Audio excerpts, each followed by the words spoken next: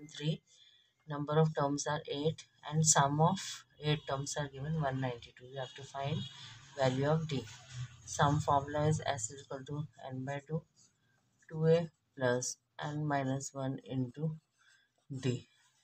S is 192 so here you will put 192 n is 8 so 8 over 2 2 into 3 plus 8 minus 1 into d two four the eight. One ninety two is equal to four. Two three the six plus seventy. One ninety two over four is equal to six plus seventy.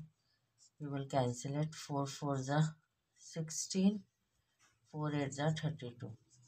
Forty eight is equal to six plus seventy. Forty eight minus six is equal to seventy. Forty eight minus six is forty two is equal to seventy. So d will come 42 over 7 that is 6 so common difference is 6 this is the answer. Thank you